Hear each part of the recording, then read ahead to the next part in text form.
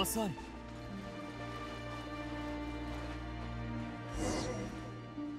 マルシラックの情報によるとロシを作ってる場所は水中にあるみたいだ。行こう。入って探そうぜ。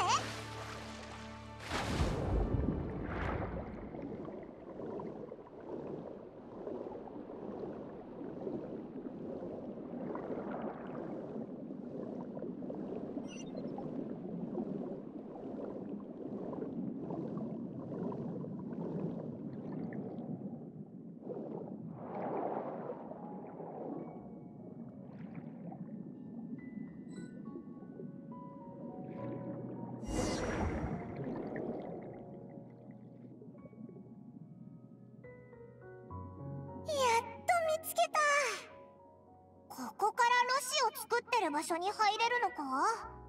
全然目立たない場所にあるんだな。それもそうだな。かなり重要な場所だし何かしらの防衛手段や仕掛けで守られてると思うぞ。今頃きっとナビアは激しい討論を繰り広げてるだろうな。オイラたちの時間を稼ぐために。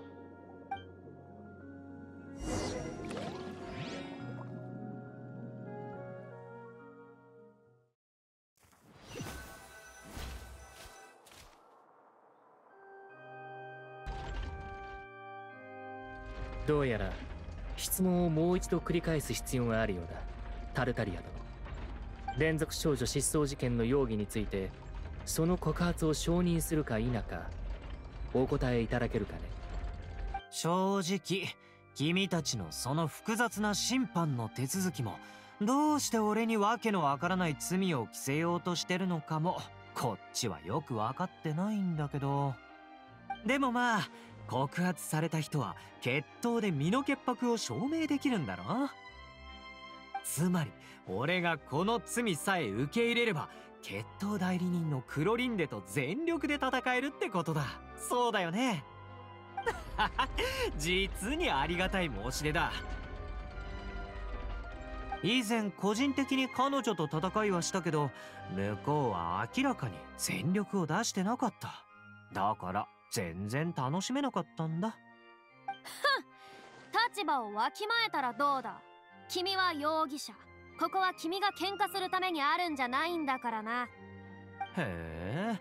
どうやら水神様は俺に歌劇場のルールを教えようとしてくれてるみたいだ。じゃあ試してみるかい。血湧き肉踊る戦闘の中で勉強する方が俺は得意でね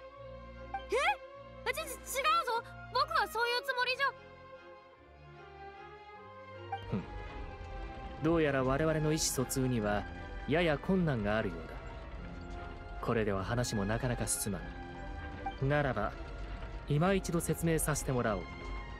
この審判の目的は連続少女失踪事件の犯人を見つけ出すことであり。その件は彼と関係ないよ。犯人は別にいる。え？どどういうこと？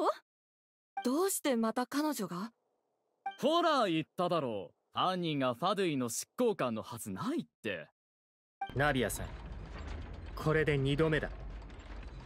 前回は重要な証人を連れてきたがゆえにその行為を見逃したが決してそれは秩序にのっとったやり方ではない。今ならば君を審判侮辱罪で裁くことも可能だと知れ。まさかこの法廷の茶番に少しでも私が敬意を払ってると思ってる？まそれも重要なことじゃない。あんたと言い争う必要なんてないからね。私が言いたいのは連続少女失踪事件の真犯人を今から告発するってこと。私の告発が成立したらそっちのタルタリアさんはもちろん無罪になるんでしょ？へえ。俺の罪を晴らすために自ら飛び込んでくる人がいるとはね。実に面白い。まあ俺も正直に言うとこんな面倒な規則にうんざりしてたところなんだ。ではお言葉に甘えさせてもらおう。さてしばらくは俺の出番がなくなったってことで大丈夫かな？大審判官閣下。しばし観客席に座っているといい。だがタルタリア殿。容疑者から外れたわけではないことを夢夢忘れぬようではナビアさん告発したいものを述べよ。それは。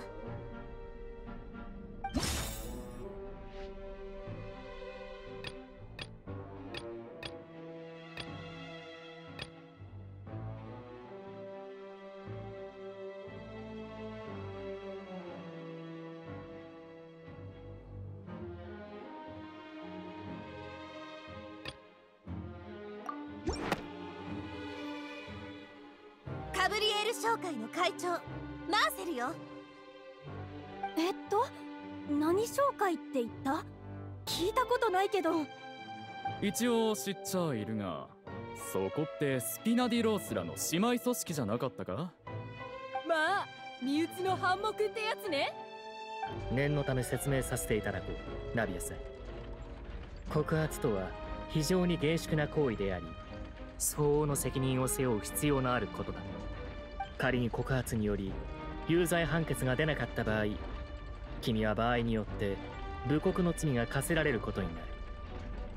それを知ってもなお告発を。もちろん。ではここに告発が成立したことを宣言する。ナビアさん。そちらの代理人たちと共にしかるべき場所に着きたまえ。そして警察隊。マーセル殿に出廷するよう通達せよ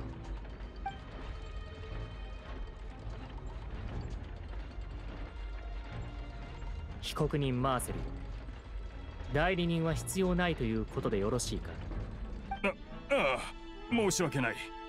突然すぎて何が起こったのかまだ把握できていなくてな。多分必要ないだろう。ナビアもきっと何か勘違いしているに違いない。よかろう。これで審判にあたる双方の人員が全て揃った。さて原告側から主張を述べたまえこの件は3年前の不義のカーレスの事件まで遡る必要がある。あの事件の真相を解明してからようやく連続少女失踪事件の全体像が見えてくるの。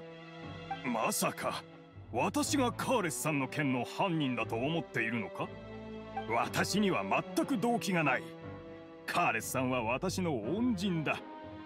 しかも当時私は君と一緒に銃声を聞いて外に駆けつけたじゃないか。私を容疑者とするのならあの日あそこにいた全員に疑いがあるはずだが。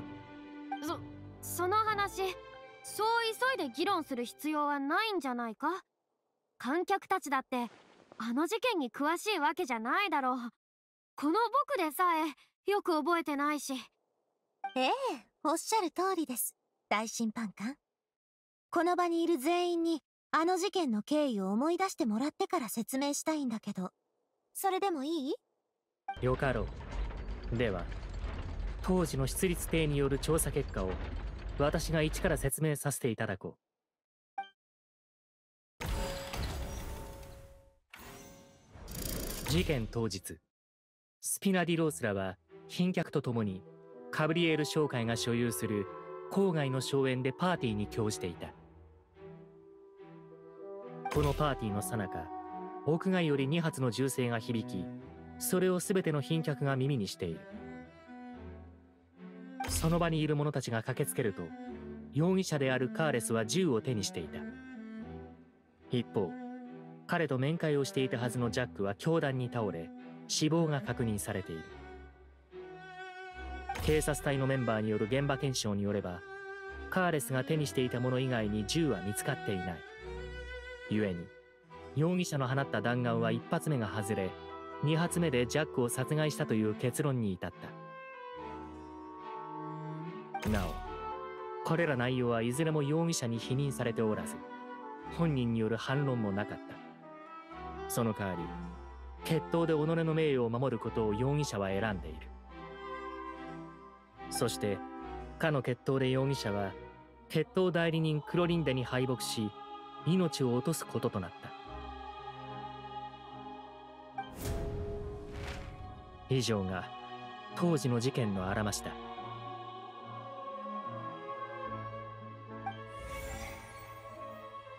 殺人をしないといけない状況にあったのはパパじゃなくてジャックだったはず。でもジャックにはそれをする理由がなかった。2回の銃声が響いた真相は1発目がジャックの撃たれた時の音で2発目が銃を奪ったパパが第三者を殺そうとした時のもの。でも黒幕は第三者が水に溶けるよう手を回していた。だからその痕跡が見つからなかったんだよね。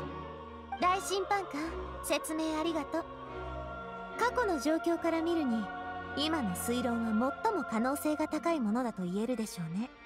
でも原始大会の水が人を溶かすと知った今なら状況は大きく変わってくる。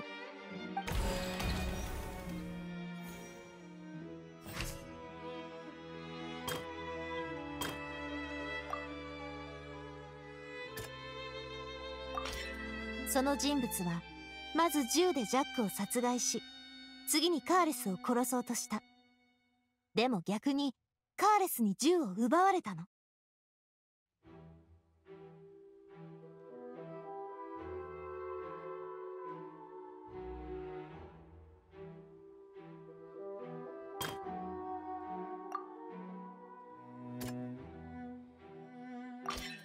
事件現場には服がいくつか残されていたの。それはジャックが変装して人目を避けるためのものだと警察隊員は以前そう認識していた。けど今にしてみるとあれこそ現場に第三者が存在していた証犯行時に人が溶けたことを意味する証拠だと思うの。そしてさらにあの日は雨が降っていた。つまり溶けた人の痕跡を隠蔽するのも容易だったというわけ。容疑者はさぞ北総エンデタでしょうね。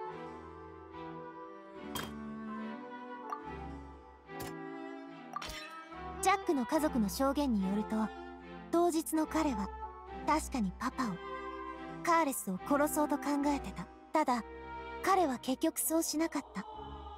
逆にカーレスに全てを打ち明けて助けてもらおうとしたの。当然黒幕側もこうなることをとっくに予想してた。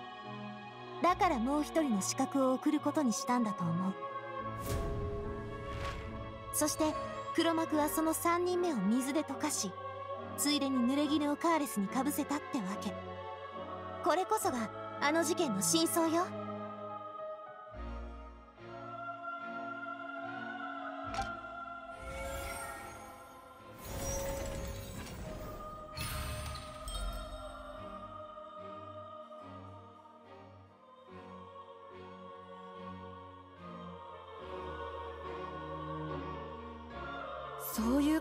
ったんだ。つまり原始大会の水っていう危険なものがもう何年も前から使われてたってこと？実に理にかなっているな。これでカーレスさんとジャックさんの動機にも説明がつく。そもそも互いに手を出していなかったと。被告人今は原告側の主張に対する反論のみを発言していただきたい。いや私はただナビアの言うことはもっともだなと感心してな。しかしさっきの彼女の話には私を直接指す内容はなかった。ででは僕から質問していいかな？僕が思うに問題点は主に2つ。1つ君のその推理だけどそれを証明する証拠はあるのかい？申し訳ありません証拠はまだないんです。証拠もなしにペラペラと喋ってたの？今はまだないけど証拠を見つける方法はあります。あの日現場に残されていた服をちゃんと調べて身元を洗えばきっと。それに当日行方不明になったものの記録を調べれば何かしらの収穫を望めるはずです。あの時すでに少女失踪事件は起きていました。警察隊も失踪者が少女かどうかにかかわらず手を抜くことなく調査に当たっていたと思います。なるほど。僕もそれには同意する。ヌビレットこの線で調査したら何かわかるかもしれない。なんだか今日のフリーナ様いつもと様子が違わない？また恥をかいてしまわないかと内心怯えていらっしゃるのでしょもしくは先日危うく他人に濡れ衣を着せてしまいそうになったのでより慎重かつ真面目になっているのかもしれません。僕からもう一つ質問だ。その後の決闘についてはどう説明する？もし真相が本当に君の推理通りのものだとすればカーレスが反論しなかったのには疑問が残る。人が解けたと証言すれば少なくとも審判の際に抗う余地はできたんじゃないかな。その点については私も考えたことがあります。でも答えは簡単。そうしたくなかったからです。連続少女失踪事件の犯人にとって確かに原始大会の水が持つ力はとても重要な秘密でした。パパはカーレスはそれを暴露することも隠すことも選択できたのは事実です。けどあの時スピナディロースラは情勢が不安定でカーレスの人望も地に落ちてる状況でした。そんなタイミングでこれほど重要な手がかりを公にしても犯人を引っ張り出せるとは限りません。私を守ることは絶対に無理だって。パパは分かってたんです。当時お嬢様が少女失踪事件のターゲットとして選ばれてしまったと。そうボスからお聞きしております。なんだって？原始大会の水の秘密を公にすれば数年前から犯人とスピナディロースらの間で激しい争いが勃発していたはずです。そうなってしまえば私だけでなく組織のみんなも危険にさらされてしまいます。けど仮にそんな状況になったとしても警察隊は事件の真相を明らかにできたでしょうね。そしてきっとスピナディロースらは無実だと公正な判決を下してくれてたと思う。でもその公正に何の意味があるんです？誰を守れるというの？その公正さにこの歌劇場に少しでも正義を期待できるのならパパはそもそもスピナディロースラを立ち上げるなんてことはしなかったはず。けどその秘密を隠すことを選べば互いに弱みを握ったまま睨み合いの状態を維持できます。私がスピナディロースらのトップになれば連中はますます私を消すことが難しくなる。より時間を稼げるようになります。そして全ての真相を明らかにし準備を整えるんです。この歌劇場ではなくこの私が真実と名誉をパパに返すの。つまりカーレスはわざと死を選んだと。君は主張するんだね。そうです。証拠は？もちろんあります。他でもない。パパの決闘相手だった。クロリンデです。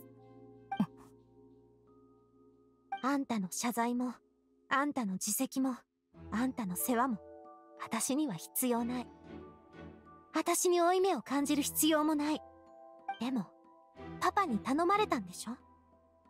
だったらあんたはその期待を裏切るべきじゃない。ふむ。では決闘の時カーレスが死を望んでいるように感じたかい？はい。感じました。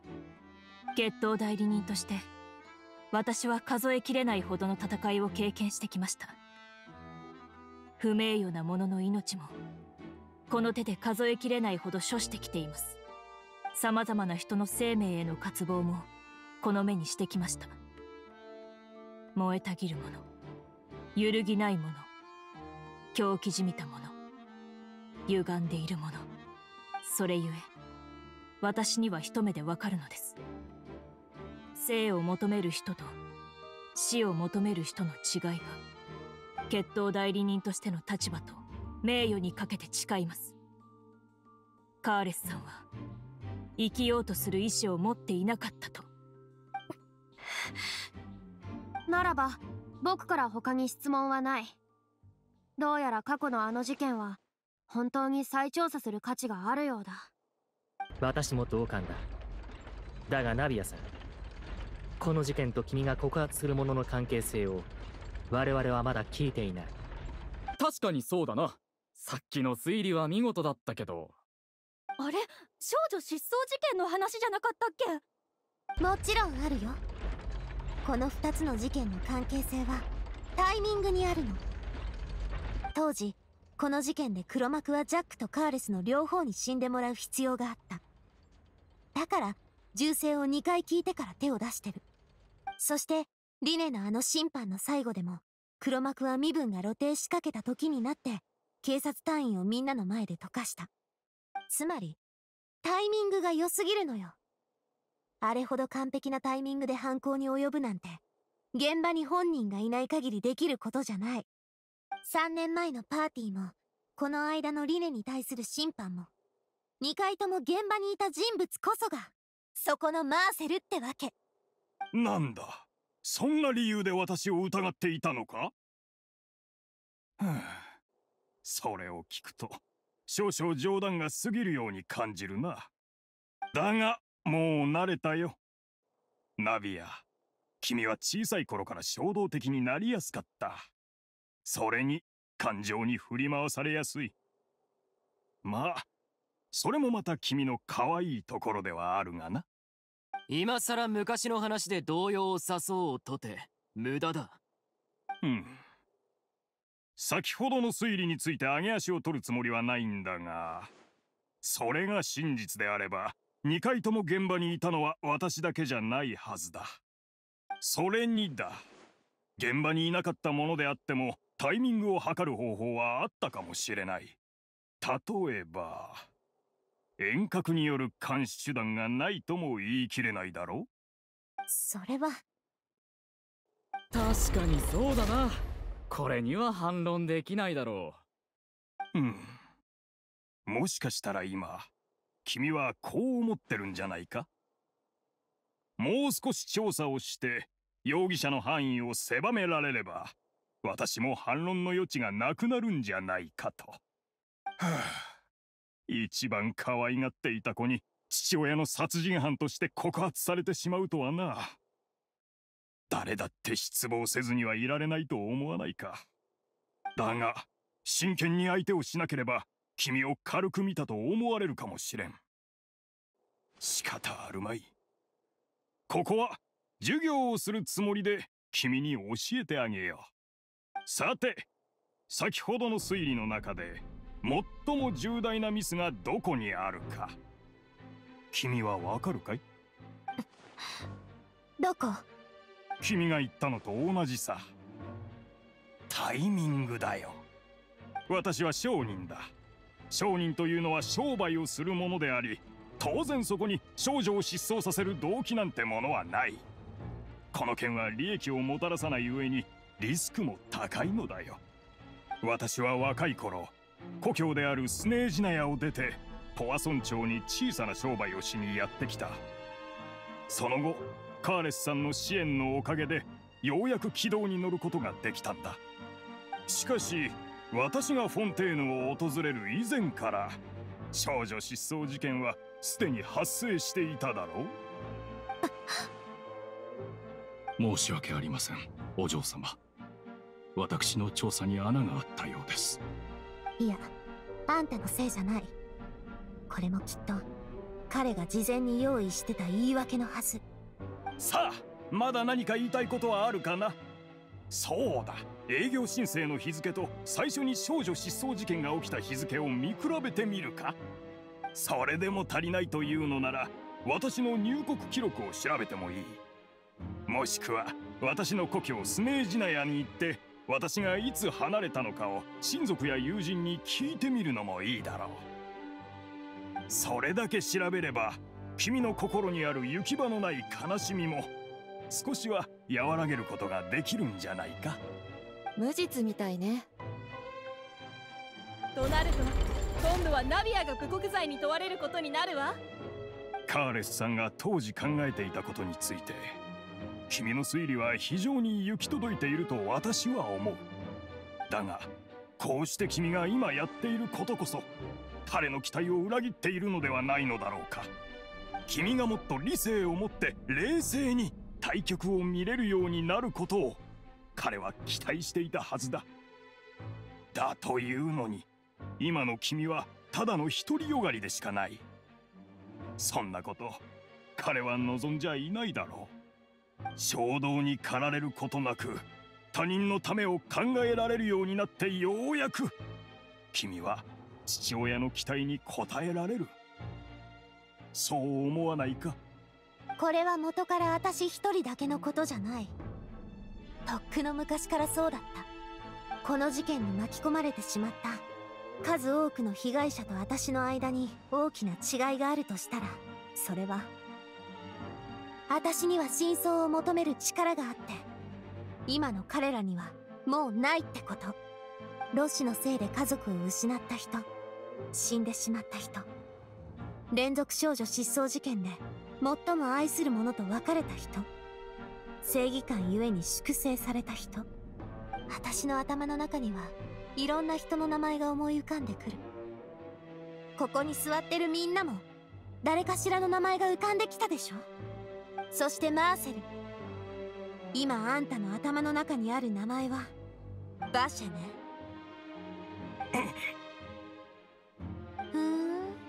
やっぱりこの名前を知ってるんだ。私はいきなり知らない名前を言われたものだから少しびっくりしただけだ。待ってたよその言葉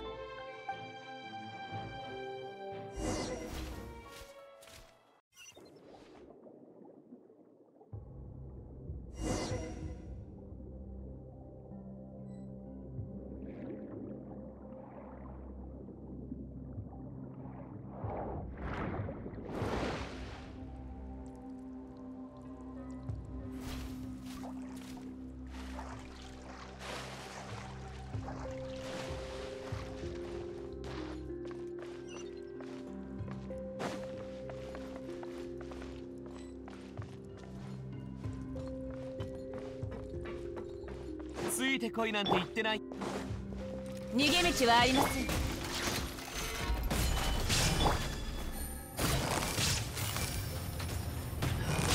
捕まえた。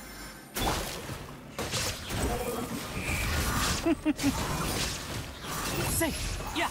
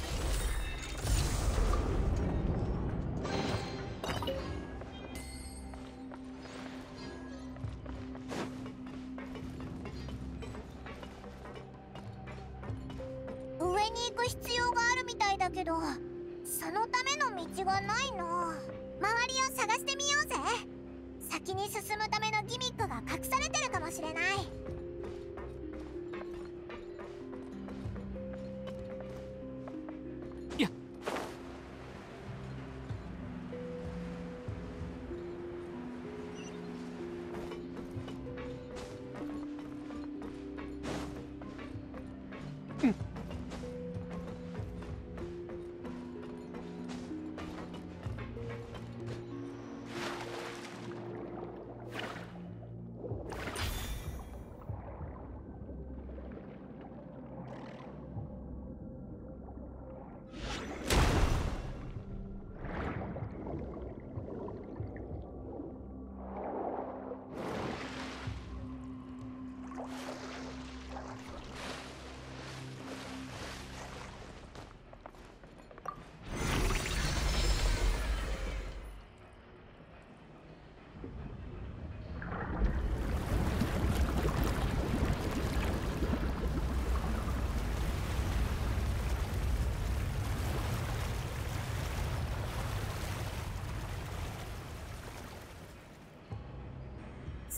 が上昇したぞこれなら上まで泳げるはずだでもオイラたちが行きたいところまで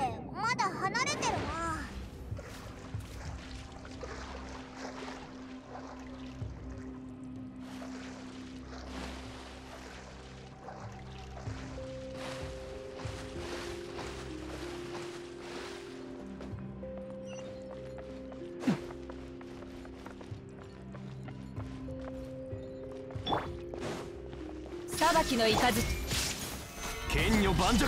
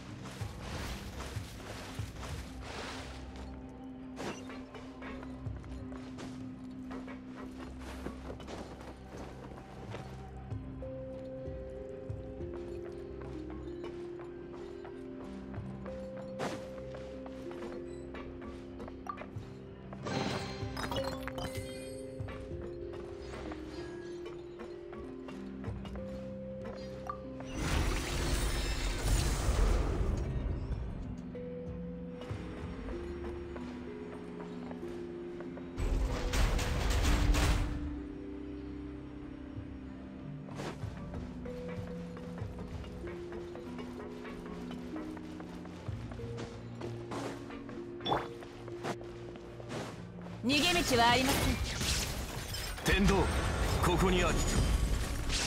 剣女盤石痛がっちゃいない。どの目が出るかしら。風よ。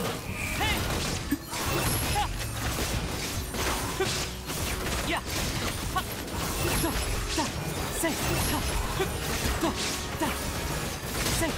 が高いぞ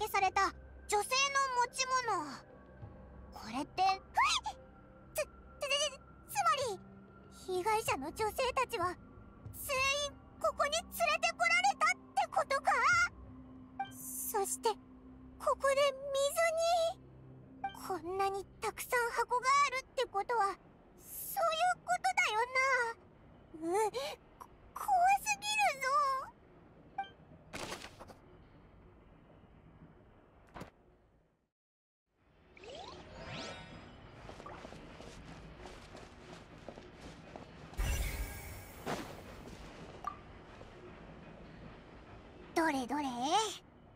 何が書いてあろうとこの名探偵パイモンの目から逃れられないぞ。えっとカーレスってこれナビアのお父さんだよな。あいつに関する調査レポートみたいだぞ。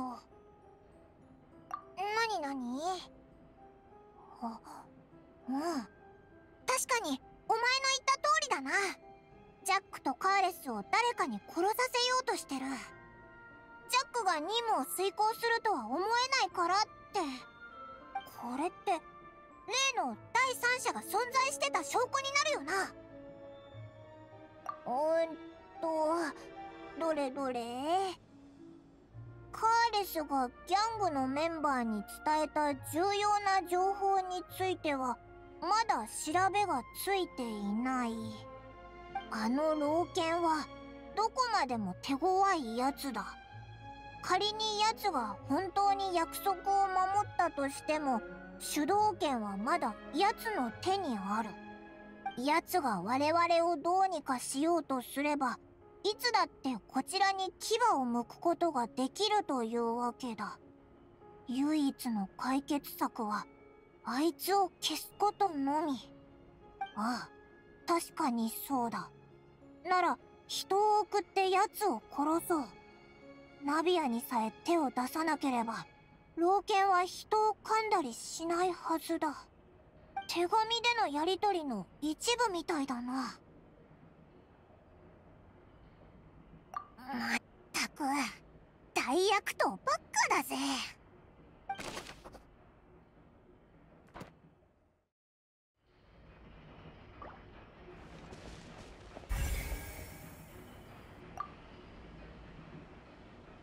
すごく目立つ池があるぞ。水でいっぱいだ。ああここってロッシを作るための場所だしこの池の中にあるのは全部原料だろうな。普通の水で薄めればロシになってそのまま使うと人を溶かすことができる。よしオイラがメモしとくぜ。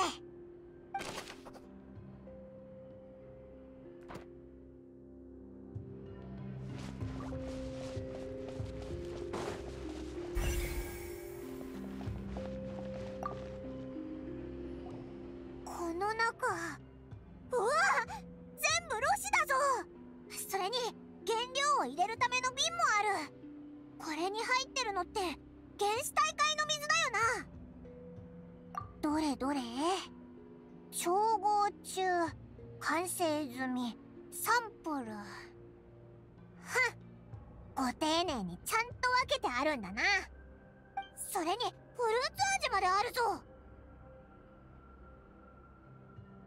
うだな。一目見たらすぐわかるくらいバレバレだぞ。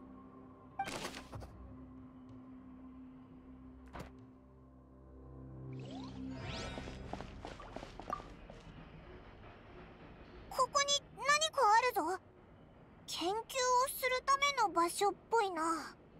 実験ナンバー16ジェイコブ・インゴルドによる原始大会の研究結果に対する検証及び確信を旨とする。実験失敗。原始大会の水に浮かび上がる人間はゼロ。2223 24号の女性は溶けて。うわごごめん。でもこんな恐ろしい文章今まで読んだことなかったからこんな冷たい書き方でこんな怖いことを書くやつがいるなんて信じられないぞ!おお前にやる!オイラはもう怖くて読めないから!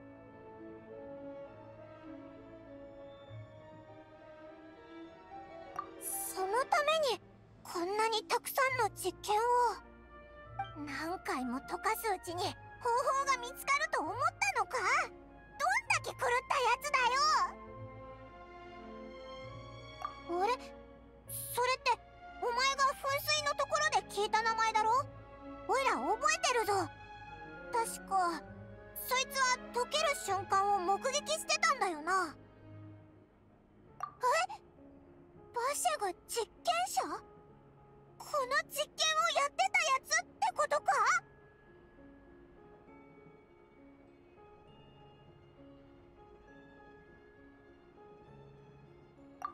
そうだったのか。つまりバシェは被害者なんかじゃなくてあいつは自分の手で恋人を。あれ違うな。それだと救おうとしてる意味がわからないぞ。おおう。とりあえずメモしとこう。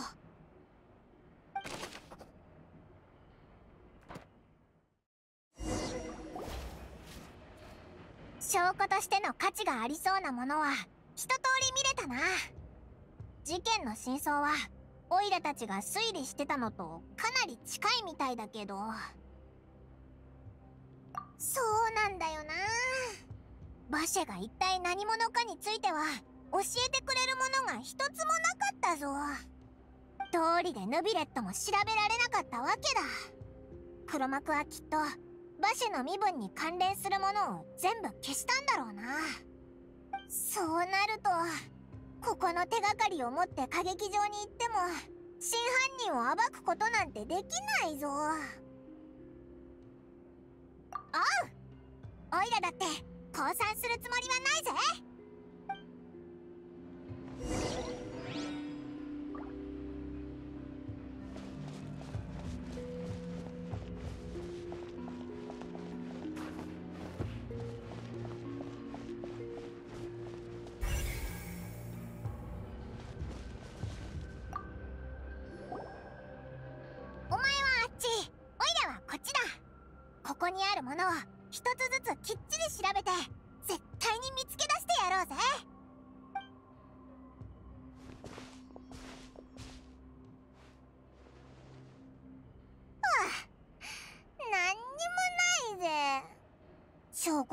にしてもおやつくらいあってもいいだろう。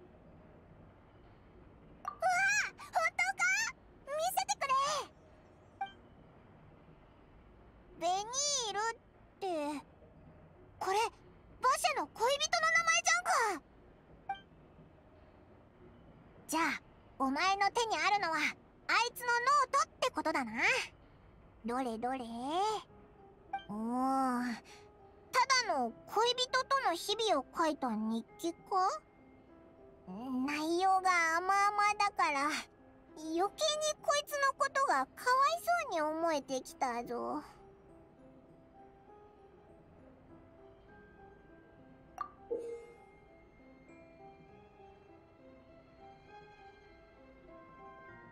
確かに名前がいっぱい書いてあるな。1ページ丸々埋まってる。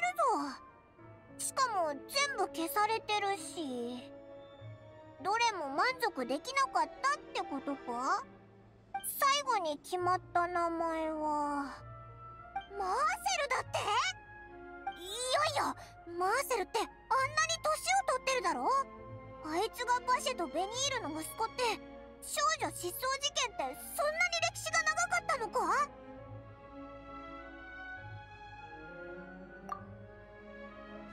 おいおいオイラはまだ理解できてないぞ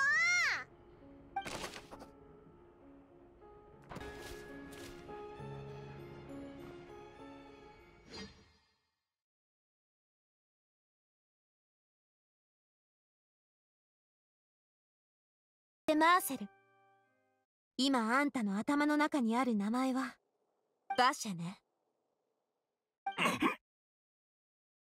ふーんやっぱりこの名前を知ってるんだ。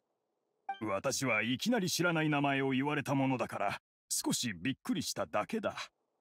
待ってたよその言葉。待たせたなナビア。さすが私の相棒。タイミングバッチし。このような秩序を乱す行為一体何度繰り返せば気が済むのだ。別にいいさヌビレット。それほど自信があるみたいだしさぞ決定的な手がかりを見つけたんだろう。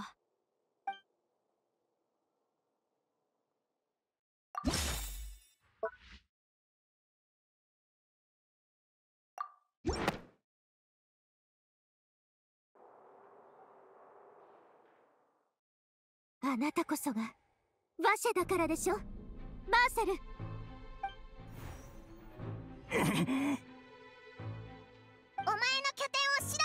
てもらったぜ。オイラたちにはもうお見通しだぞ。お前は溶けてしまった恋人のベニールを取り戻すために次々と女性に目をつけては人体実験を行ってた。さらにお前はマーセルっていう身分をでっち上げて馬車に関するあらゆるものを処分したんだ。なるほど。歌劇でさえこれほど冷酷な悪役はいないだろうに。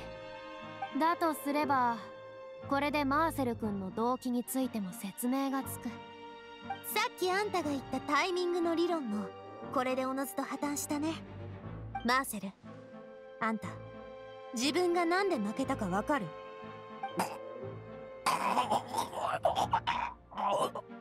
ずっと失った恋人を見ているだけで他の人に目もくれなかったからよ。だからあんたは私たちの変化に私たちの成長に気づけなかった。故にボスが抱いていたお嬢様への期待も読み取れなかったのです。それに我々の決意もな。君たちの決意だと。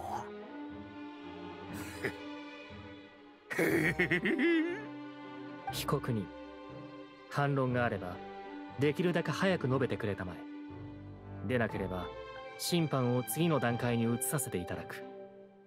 私に私にそんなことをする気持ちがあったと思うのか？君たちに目もくれなかっただと？どうして私が目を向ける必要がある？君たちの方こそ私のことを見ようとしたか？私のこの苦しみを経験したことがあるか？最愛の人が目の前で溶けていくあの光景をそれを見ていることしかできなかった経験は。誰も私を助けてくれない。私を信じてくれる人もいない。数十年前出立帝の者でさえ私にこう言った。人が水に溶けるなんてありえない。私は不慮の事故に遭ったから混乱しているのだと。ベニールの死はこうもあっさりと君たち全員に流された。今になって分かっただろあれが本当のことだったとだがもう遅い。一度解けた人はもう戻らないのだからな。全て貴様らのせいだ。こんな見栄えだけの審判で正義を追求し茶番を求める。一般人の苦痛にまるで見向きもしない。ベニールが死んだんだぞ。彼女と約束したのにだ。どこへ行こうとも一緒だとそう約束したのに。ずっとこの約束をたがえることなどなかった。だが私はフォンテーヌ人じゃない。私は解けないんだよ。おいモーセルが飲んだのって。原始大会の水か？私は解けない。解けないんだ。解けないのだよ。見たか？いけないんだ。私はあちらへ行けない。だったら何とかして彼女を連れ戻すしかないだろう。だというのに結局最後はあの老犬カーレスにしてやられるとはな。一生をかけてこんなにも用心深くやってきたというのにあいつのバカ娘にとどめを刺されるとは。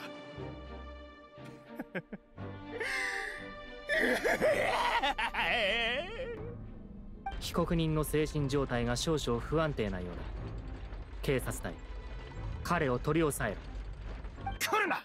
誰も近づくんじゃない！私はベニールを救うんだ。まだ彼女との約束が。ベニール。ベニール。ああ。私を。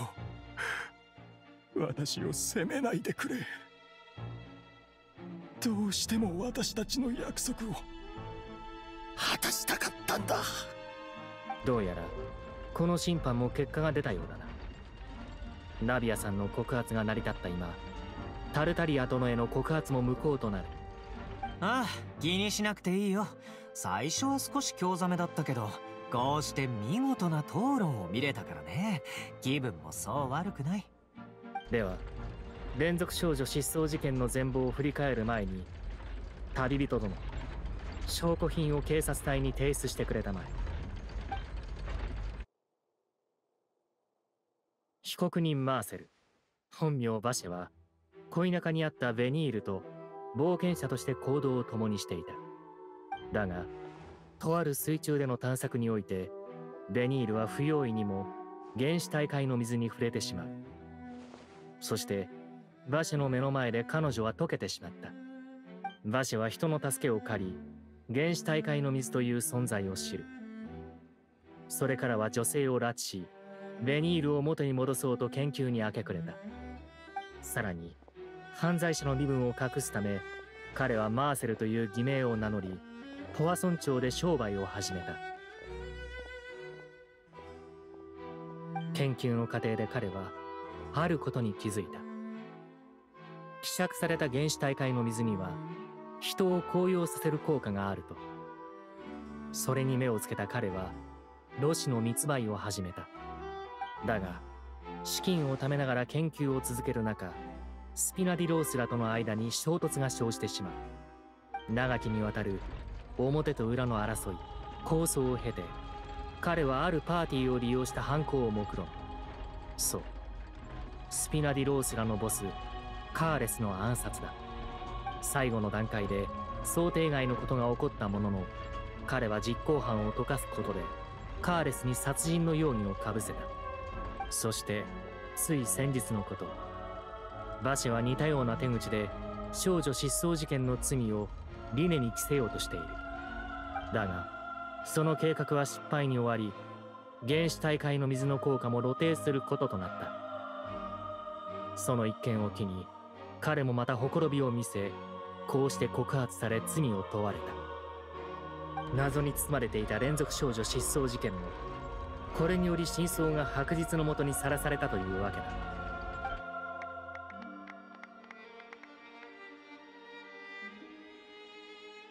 では被告人馬氏の容疑についてこれより有識に最終的な判決を下してもらう。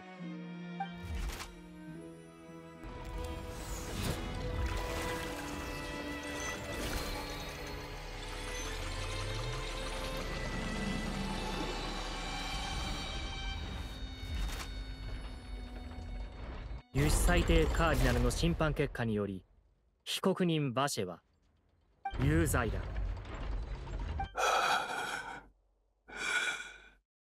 警察隊バシを連行しろ。ブラボー当然の裁きよ。これで連続少女失踪事件も終わりか。私たちって歴史を見届けたことになるんじゃない？まさか真犯人があんな真面目腐った顔のやつだったなんてね。やったぜ！オイラたち役に立てたよなあいつは罪のない人をたくさん傷つけてきたんだ。これでやっと相応の報いを受けることになるな。あれどうしたんだ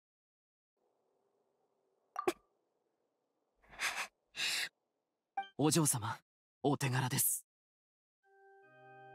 ボスが待ち望んだ日がついに訪れました。お嬢様これからは今までのように気を張らずに済むでしょうそうね。やっと終わった。あんたたちそれと相棒のおかげでね。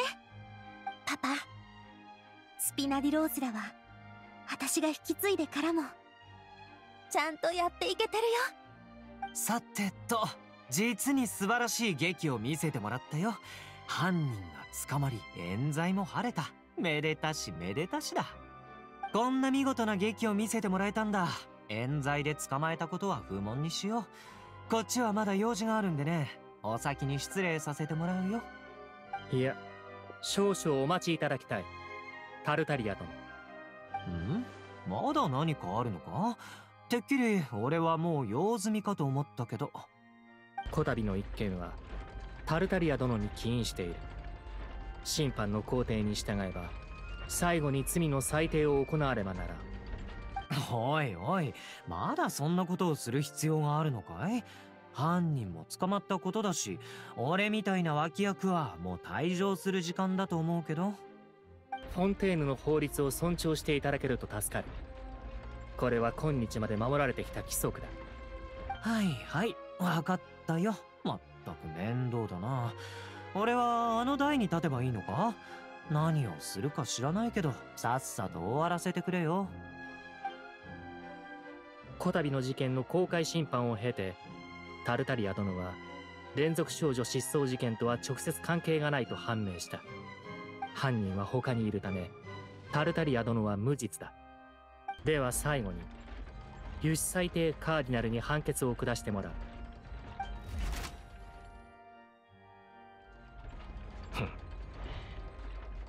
輸出裁定カーディナルの審判結果によりタルタリア殿は有罪。おいおいこんな冗談面白くないんだけどさっきまで俺のことを無罪だって言ってただろ？なのにこの結果は何だ？その機械故障でもしてるんじゃないのか？えっとこんな状況初めてよねユシキが最高審判官と違う結果を出すなんて。ファドゥイの執行官ってことはきっと悪事を重ねてきてるだろう。ユシキも多分彼の他の罪を見抜いて正義を執行しようとしてるんじゃないか？けど今は連続少女失踪事件の審判でしょ？この件と全く関係のない罪があったとしても今裁かれることはないんじゃない？輸出裁定カーディナルの判決に準じて有罪とする。警察隊。規定の手順にのっとり任務を遂行せよ。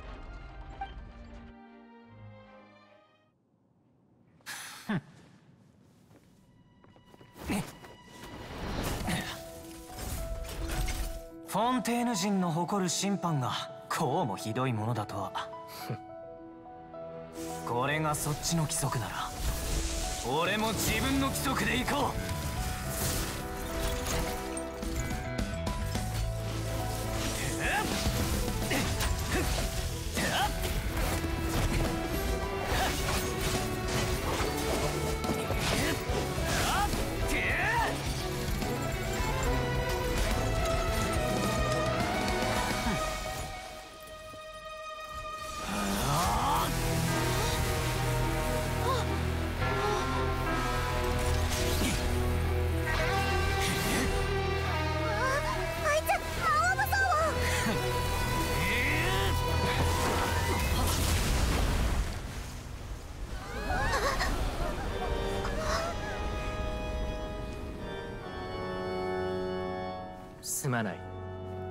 冤罪であればこちらが調べよう。だが法廷の規則は破らせん。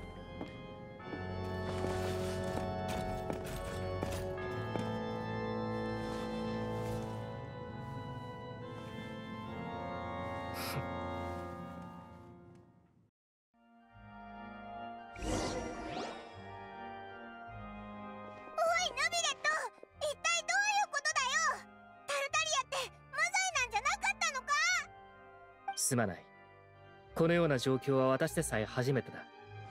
だがフォンテーヌ法廷が当初定めた規則により判決は有識が示した結果に準ずる。現時点では私もただ規則に従っているに過ぎない。それに有識がこのような結論を出した理由なら私よりも尋ねるべき者が他にいるだろう。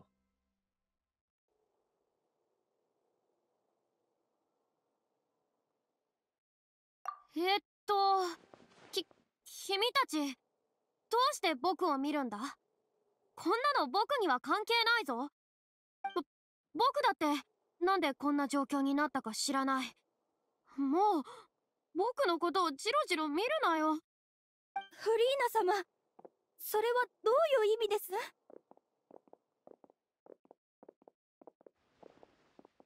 あの方も理由を知らない？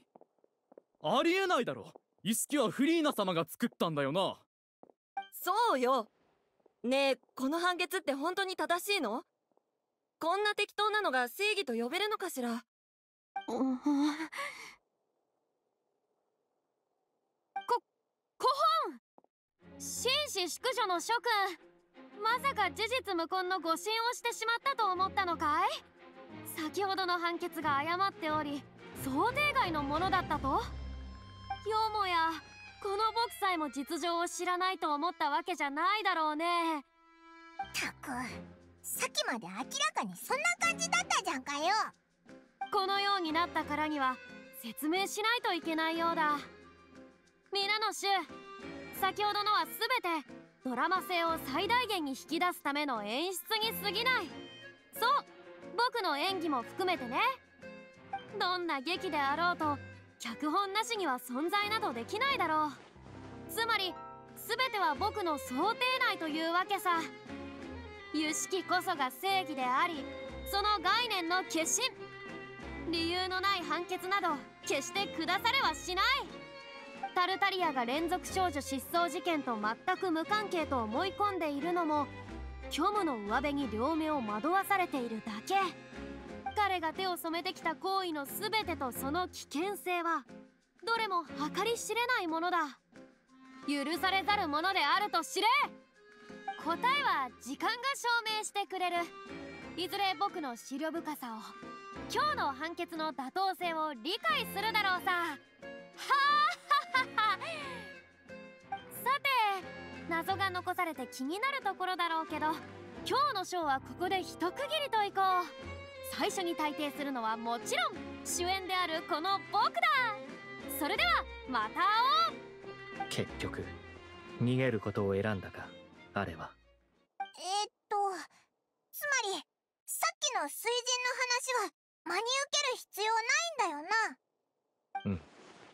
彼女はメンツを保つためにああ言ったのだろう。この件について具体的な原因はおそらく彼女自身も把握していないだが安心するといい。引き続きこの件は私が個人的に調査する。先ほど約束したように冤罪であれば必ず明らかにしよう。おうタルタリアのやつが少しかわいそうだけど一応信じてやるぞ。まタルタリアも悪いことをいっぱいしてきたわけだしいつかこんな日が来るって多少は心の準備をしてたんじゃないか？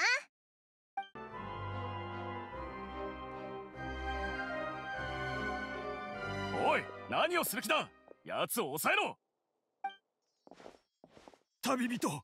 おい旅人！おいマーセル？何しに来たんだよ？公務を妨害するなら罪をさらに問われるぞ！いや待ってくれ！私はただ旅人と少し話がしたいだけなんだ！決して逃げようとしているわけではない！頼む。頼むから少し時間をくれ話を聞こう。ありがとう。感謝する。先ほど連れ出された時にふと思ったんだ。バシェという名前を。君たちは一体どこで知った？関連する記録は全て処分したはずだ。となると考えられる可能性は一つだけ。まさか。今さら事件の内容を掘り返す気か。すでに有罪になったというのに。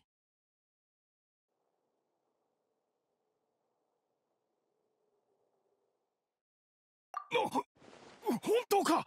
その話は本当なのか？彼女に会ったなんてありえない。一体どうやったのだ？ルキナの泉だと。つまり彼女はずっと私のすぐそばにいたということか。それなのに私は。頼む。彼女に会うチャンスをくれないか。旅人連れて行ってくれ。一生のお願いだ。その後であればどんな処罰だって受けよう。少し虫が良すぎないか？重罪を犯したというのに注文が多いぞ。はん。おいらもそうんな極悪非道の犯罪者が言う頼みなんて聞く必要ないよな。とその要求は君にとって命に釣り合うほど重要なものか。ああいや命よりも大事なことだ。人間とはかくも精神の需要のみで生への本能に逆らえるのか。よかろう。その要求を許可する最高審判官。なぜ？私もこの者と同行しよう。犯人が脱走した際の責任は案ずるな。あ承知しました。ヌビレット様が一緒ならもちろん安心です。ありがとうございます。本当にありがとうございます。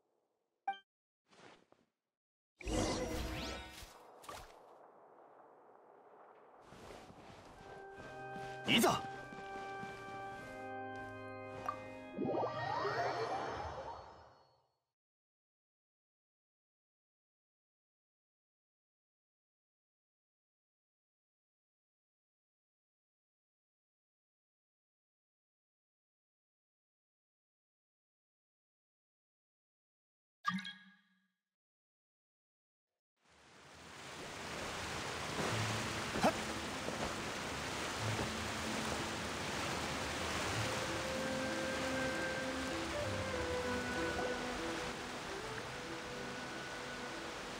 ここに彼女が。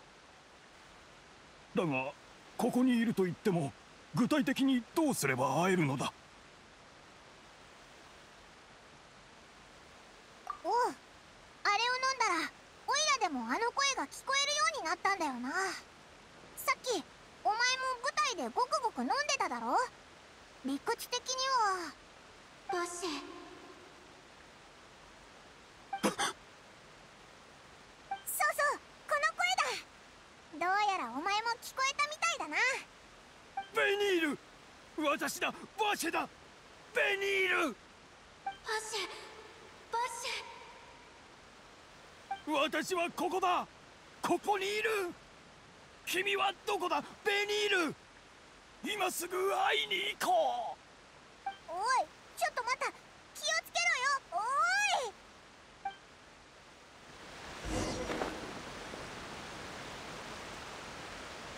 おい。ベニール。君なのか私だバシェだ。ベニール。バシェどうして来たの？私のことは探さないでと。そう伝えるようお願いしたはずなのに。あなた随分と年を取ったみたいね。どれくらい時間が経ったのかしら？かれこれ20年以上は経った君がいなくなったあの日から私はもう20年以上も苦しんできたんだ。私はただ君を元に戻すためだけにこの20年以上の時を生きてきた。他の全ては私にとっては何の意味もなさない。私は夢を見ているのだろうか。まさかこうやって自分の心の内を全て君に打ち明けられるなんて。君は私の全てだ。君なしでは私はどうやって生きていけばいいのかさえわからない。でも私はあなたなんかいなければよかったと思ってるわバシェ。なんだと？あなたさえいなければ私は法律を無事に学び終えて一流の代理人になれたかもしれない。あなたさえいなければ私は画家の夢を追い続けられていつかパレメルモニアの隅々にまで私の絵を飾れたかもしれない。あなたさえいなければ私は少なくとも母に付き添うことができた。老いた母が一人寂しく涙を流しながら死んでいくことを避けられたかもしれない。全部あなたの私欲のせい。バシェ。全部あなたのせいで。待て。君はベニールじゃないな。一体何者だ？そう。私はベニールじゃない。私は犠牲者。あなたのせいで死んだ女性は全てその肉体が消失したことにより意識が原始大会へと帰ったの。我々の意識は大会の中で絶えず流れ分かたれることもなくやがて収束する水流のように一つとなった。私はクリッシー私はシモーヌ私はエイドナ。でも一つ確かなのは私はベニールじゃない。なぜだ？じゃあベニールはどこに？彼女はもうあなたに会いたくないの。彼女に関する意識の全てがあなたを遠ざけてる。これこそあなたの私欲の結末よ。私欲のままに私たちの若い命を奪った彼女のために何でもすると言ってるけど。そんなことを彼女は望んでいない。あなたは一切考えてこなかった。今のあなたを見た時の彼女の失望を。私は？あなたは嘘つき。あなたは人を殺す悪魔あなたは事故に陶酔する臆病者。でも一つ確かなのはあなたはベニールの恋人じゃない。あなたが初めて手をかけた少女は死んだ後その意識をベニールと融合させた。だから彼女はあなたのことを心の底から憎むようになってる。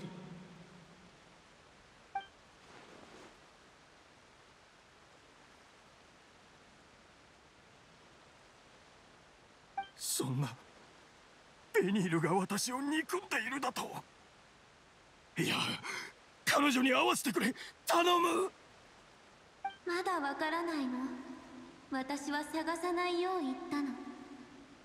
これは本物のベニールの意志。彼女は確かにあなたに会いたいと思っていない。けどそれにはもう一つの意味があるの。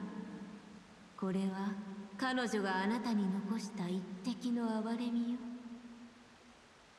だって彼女は知ってたから。もしあなたがここに来たら私たちはあなたを逃すわけないって。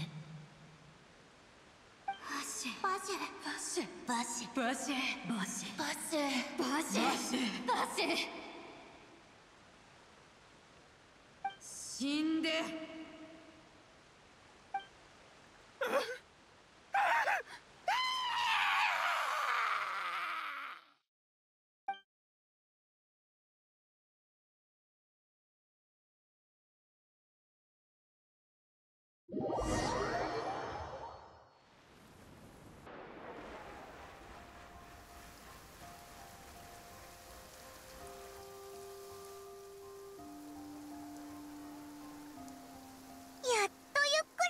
ぶらつく時間ができたな。こんな風にのんびりするなんて久しぶりだぜ。相棒。今朝起きてやけに調子がいいと思ったらあんたたちに会えるからだったのね。このような天気でもお嬢様の機嫌を曇らせることはできないようです。また会えてよかった。二人とも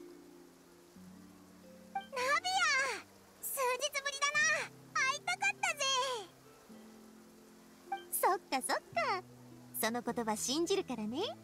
ま私みたいに息がぴったりでいつも勝利を呼んでくれる相棒なんて他にいないし。そりゃ誰だって大事にしたくなるよね。ひご機嫌みたいだなナビア。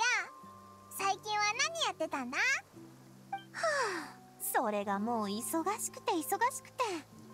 あの審判が終わってからポワ村長とフォンテーヌ邸の間をずっと往復してるのスピナディロースラのみんながパパのために追悼会を開いてくれてね。パパが死んだ時は名誉なんて地に落ちてたでしょ？当時はたとえ追悼会を開いても来てくれるような人なんていなかったからさ。でも今回はポワ村長の人たちと真実を知ったフォンテーヌ邸の町の人たちが追悼会に参加してくれたんだ。よかったな。これでカーレスのおめえも返上できたんじゃないか？ええ。これはお嬢様がずっと抱いていた願いでもあります。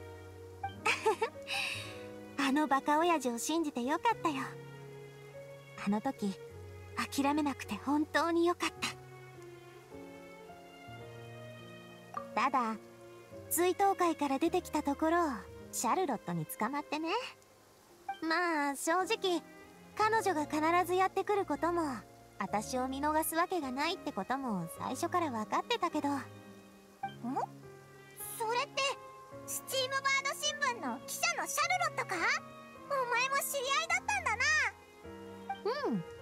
スピナディロースラのボスに就任した時しつこく質問されてさ。それをまとめて暗闇の深部に潜む本当の心臓キバラの秘密っていう記事を出してくれたんだよね。けど正直に言うとその記事って私のことをかなりかっこよく書いてくれてるの。だからそれからもお互いに悪くない関係が続いてるってわけ。今回も私たちの関係にあやかって連続少女失踪事件を終えてのインタビューを受けてほしいって言われたの。えー、っと確かあいつ連続少女失踪事件の動向にずっと注目してるって言ってたよな。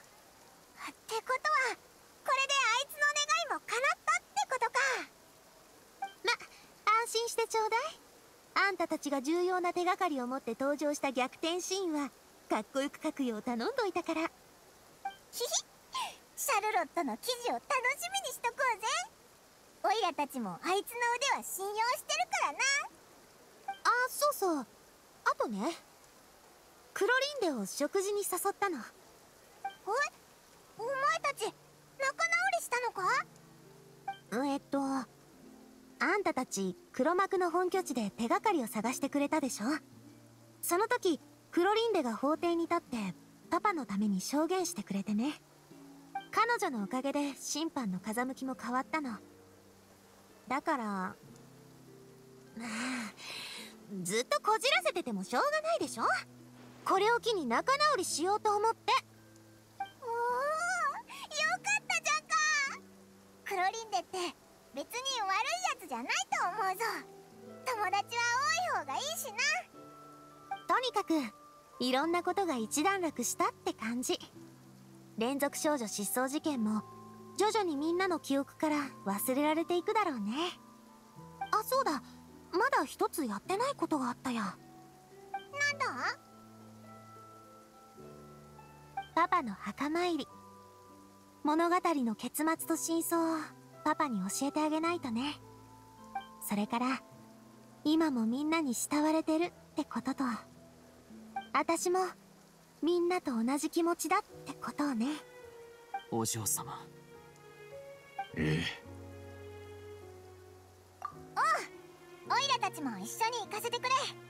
カーレスって本当に立派なやつだと思うからな。もちろんあんたたちのことをパパに紹介してあげる。二人の相棒がいなかったらこの結末にたどり着くこともできなかっただろうしね。それでは皆様早速出発の準備をしましょう。日が暮れる前にポアソン町に戻れるといいのですが。何しろここ最近はあいにくの天気ですから。うん。そういえばここ数日ずっと雨が止んでないもんねここがパパの眠る霊園。実は私もここに来るのは久々でね。あれ？あそこに誰かいるぞ。あれってまさか。あ。ヌビレットだよな。大審判官がどうしてこんなところに。っておいナビア！おや？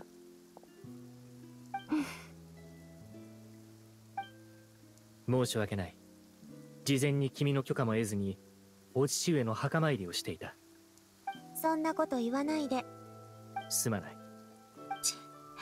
謝らないでって言ったの。パパに私の成長を見てほしいけどこの国の最高審判官にそう何度も謝らせるなんてさすがに成長しすぎだから。そうか。では謝罪は控えよう。はああんたってほんと人の気持ちがわからないのねヌビレット様。それでどうして来てくれたの？あの日以来ずっと考えていたのだ。正義とは果たして何なのかをな。人間にとって命よりも大切なものがあることを私はかつて信じようとしなかった。いやというよりも。私は人間が生き物としての本能に逆らい生き物としての規則に抗うこと己の命よりも他の何かを大事にすることを信じていなかった。これもまた当時君のお父上が決闘に出ることを止めなかった理由でもある。本当に無実のものならばあのように命を捨てることなど決してできないと思っていた。この世に存在することよりも重要なものなどないと。そう信じていたのだ。だが私の信じてきたものをカーレスさんは完膚なきまでに論破した。彼の犠牲なくば連続少女失踪事件は今もなお未解決であっただろう。カーレスさんは愛する者のため身近な者たちのためそして自分とは無関係な者たちのためにあのような選択をした。今にしてみればあれこそが全て正義のためだったと言えよう。命そのものを超越した正義だ。君はなぜ私がここに来たのかを聞いたな。私はただカーレスさんに謝罪をしに来ただけだ。何もかももっと早く気づくべきであった。このことが私の胸を締め付け気が晴れないのだ。歌劇場のあの高い位置から眺めるだけではやはり様々なものが見えなくなるのだな。スピナディロースらの諸君。長きにわたりご苦労であった。そのごめん。この前はあんたのこと怒鳴って。あんたってえっと見た目は冷たいけど心の中では色々と考えてるタイプだったんだね。シルバっていう私の部下にちょっとだけ似てるかも。すまない。自分の気持ちを表現するのが苦手でなだから言ったでしょ。謝らないでって。ナビアとヌビレットも仲直りしたみたいだな。オイラたちは邪魔しないでおこうぜ。後でまたお墓参りに来よう。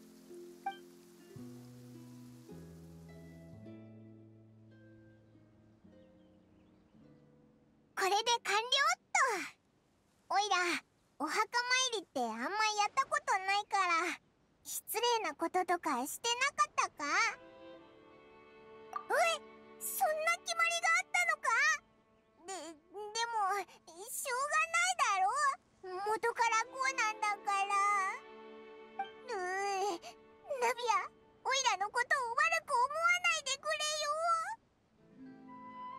そうだヌビレットがまだあっちにいるみたいだしせっかくだからあいつと話してみないか？水人との面会は難しいけどあいつとなら大丈夫だろ？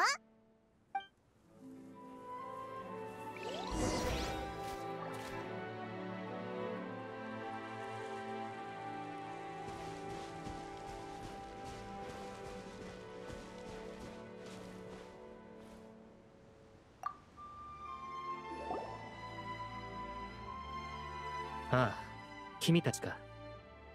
ナビアさんに誘われて墓参りに来たのかな？おう今日街をぶらついてたら偶然ナビアに会ってな。そのままついてきたんだ。なるほど。それで私に何か用だろうか？えー、っとそのせっかくこうしてお前と会えただろ？お前っていつもは忙しくしてるしこの機会にオイラたちの質問にいくつか答えてもらえないかなって思って。ああ構わない。異教の者がフォンテーヌのために奔走しあれほど重要な事件を解決してくれたのだからな。報いるのが礼儀だろう。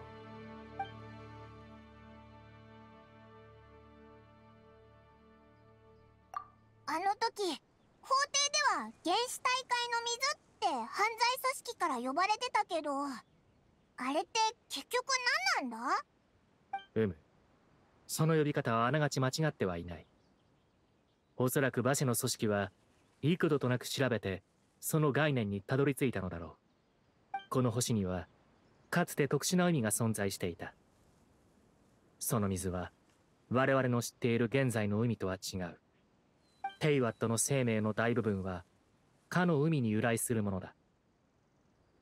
この星のあまたの命を育んだと言えよ。だから原始大会って名前なのか。文字通りの意味なんだな。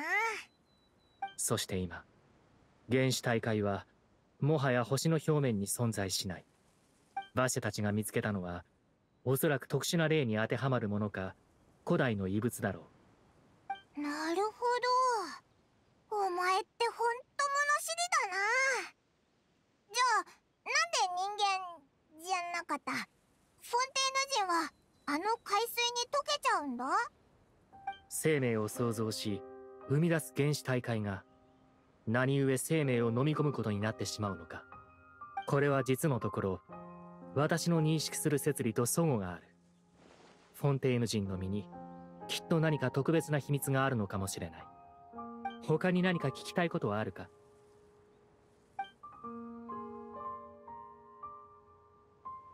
海面が上昇し人々は海に溶けてゆく。涙を流すフリーナだけが残されるその時まで。そうしてフォンテーヌ人の罪は洗い流される。予言というのはこのようなものかな。そうそう。リネから教えてもらったんだ。だいたいそんな感じだったぞ。うむ現状を鑑みるにもはやこの予言は無視できないものになっていると私は思う。この予言はフォンテーヌの先代水人が死に際に残した言葉を元にしていると噂されている。先代の水人が残した予言だったのか？それは初耳だな。今海が上昇することとフォンテーヌ人が溶けることその二つが現実となった。警戒を強めて他の兆しに注意すべきだろう。そういえばフリーナはずっとこの予言を気にかけていた。テイワットの各地から情報を集めていたこともある。噂が事実であればこれがおそらく先代水人がフリーナに与えた難題となるからであろう。でもあの水人って本当に頼りになるのか？他に何か聞きたいことはあるか？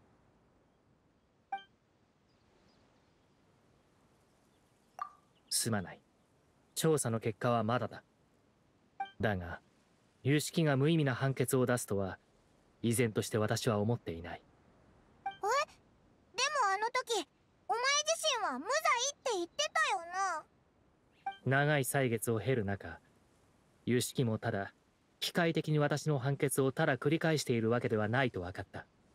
神によって作られたマシナリーとしてあれは民衆の正義への信仰を束ねている。強大な立証混合エネルギーを生み出すだけでなく自己意識のような諸々を備えている可能性が高い。それゆえ今回のように判決に相互が生じることは当の昔より覚悟ができていた。そういえばリネはユシキのコアがある部屋で人の声を聞いたって言ってたな。そのようなことがあったのか。それこそまさに私の判断を裏付けるものになるかもしれん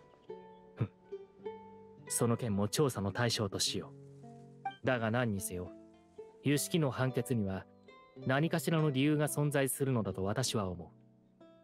きっとまだ何か手がかりが足りないのだろう。あの時のフリーナの反応から察するに彼女も見当がついていないはずだ。でなければお得意の芝居で見栄を張る必要もないからな。この件の調査は決して諦めないと約束しよう。真相を明らかにするまで申し訳ないがあのファデュイの執行官にはメロピレ要塞に留まってもらうことになる。もし本当に冤罪であった場合には必ずや最大限の保証をさせてもらうつもりだ。今のあいつが最も望んでる保証って多分お前と思いっきり喧嘩することだとオイラは思うぞ。他に何か聞きたいことはあるか？家族君以外の金髪の旅人か？すまない。見たことがない。もしその彼がフォンテーヌを訪れていたら、フォンテーヌの法律を尊重していたということだ。故に、歌劇場とは無縁だったのだろう。他に何か聞きたいことはあるか？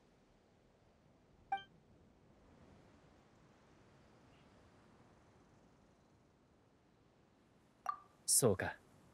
君の疑問を解くことができて光栄だ。君との交流は実に楽しいものだったよ。私はしばしここの静けさをかみしめてからパレメルモニアに戻るとしよやっぱりヌビレットって忙しいんだな。てっきりここに来たのは休みだからだと思ったぜ。う罪悪に休暇などないからな。